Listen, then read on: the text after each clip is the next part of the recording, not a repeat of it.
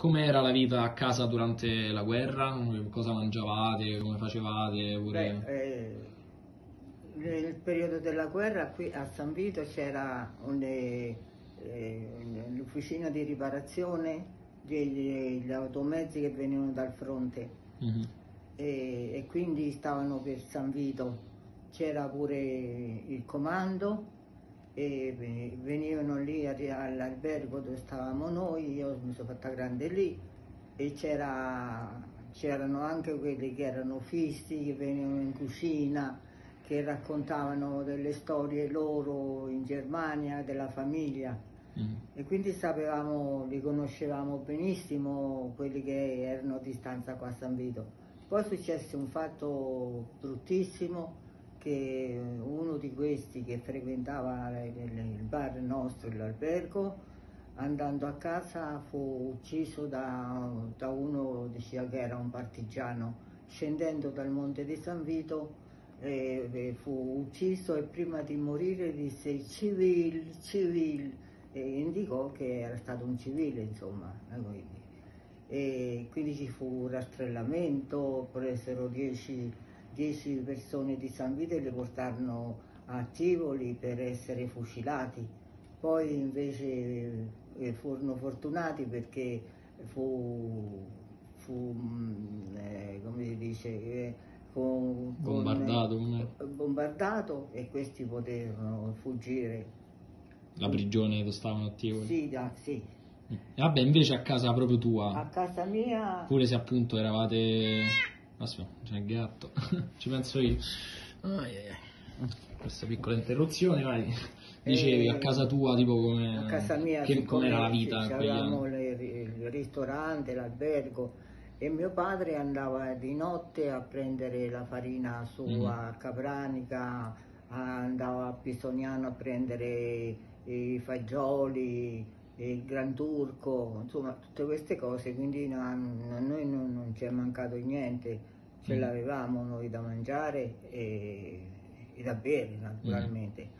Racconta quell'episodio che hai detto tua nonna che la luce accesa, che hanno sparato, com'era? E i beh, in, in- in corrispondenza de- della cappa che ci avevamo sopra per cucinare per l'albergo, c'era una- un finestrone che dava sulla strada di sotto dove una volta c'era, eh, c'era la- il mattatoio, no? Mm.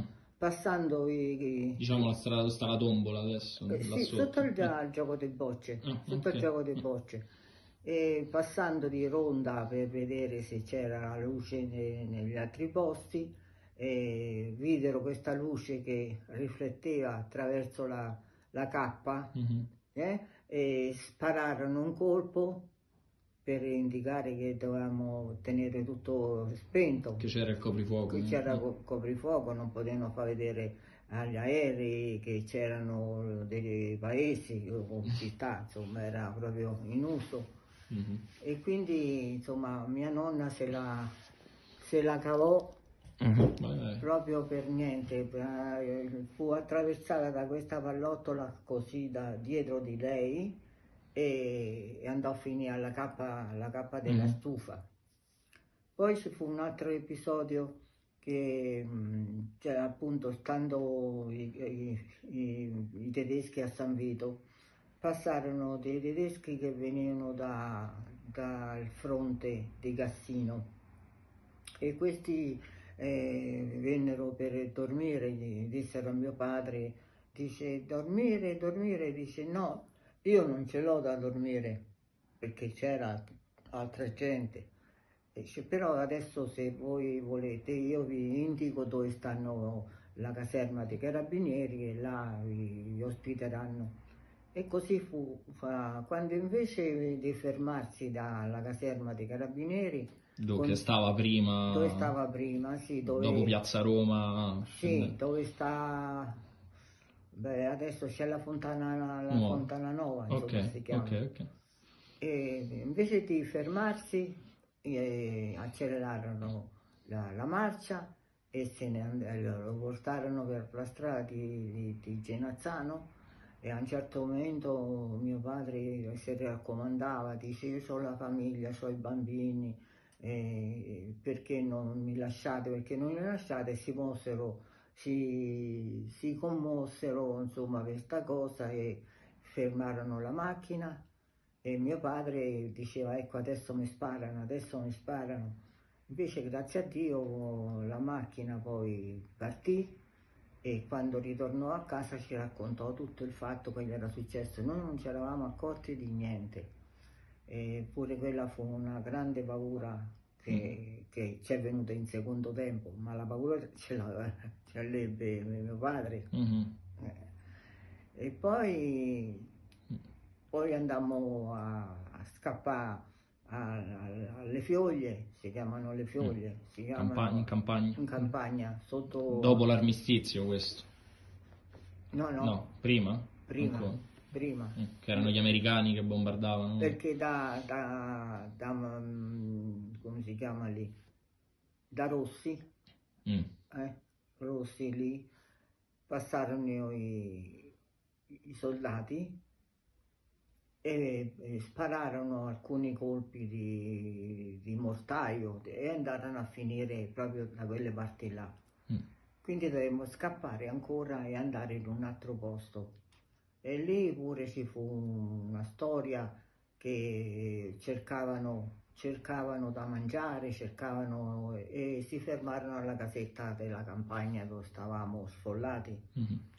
E, e, mio padre fa, faceva a ogni soldato che passava dava da mangiare, mm. dava il pane, il, prosciutto all'epoca ce l'avevamo, lo, lo, nascondevano sempre sotto, sotto i sermenti, sotto le cose e passarono anche lì di, di, soldati e strillavano a questi di San Vito che erano i, i allora erano i i soldati d'Italia, insomma, che si erano offerti come, come eh, soldati per, per salvare le persone.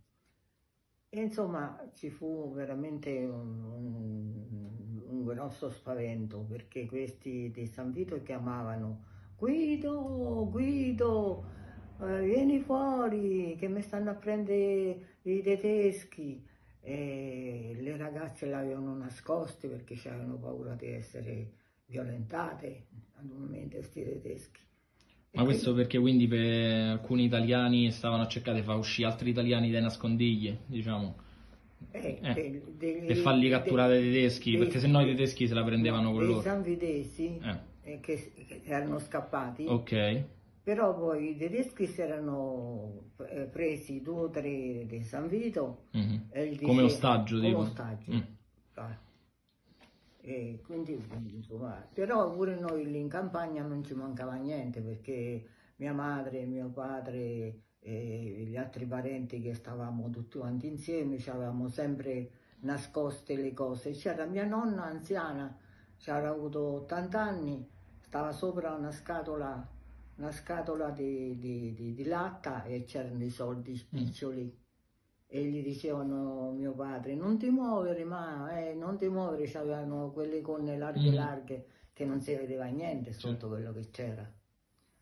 Però, insomma, abbiamo avuto pure dei spaventi. Poi ci fu il bombardamento qua a San Vito, che io me lo ricordo benissimo, me lo ricordo eh, che da, da su, dall'alto del campanile de, de, della chiesa di San Vito si mettevano in picchiata e, e spararono, spararono a, giù in fondo alla porta del borgo dove c'è l'arco. San Biagio. Eh, prima di San Biagio. E c'erano due o tre macchine ferme lì, le mitragliarono tutte. Ma sempre i tedeschi o gli americani questo? Quelli gli americani. Contro i tedeschi? Sì. Mm. E poi eh, fu bombardato pure una, eh, uno, un'officina di, di un... Eh, eh, di, di, come si chiama, no? eh, falegname, mm-hmm. dove lì morì uno. Poi alla villa, alla villa Viscogliosi, eh, lì pure mitragliarono mm. e uccisero mm-hmm. tanti cavalli. e quelli di San Vito li prendevano tutti questi cavalli, pezzi di cavalli li portavano in un posto dove scorreva l'acqua per farla E poi mangiassi. forse li mangiare. Vabbè dai, diciamo così, se basta, se no ne facciamo un'altra, dai.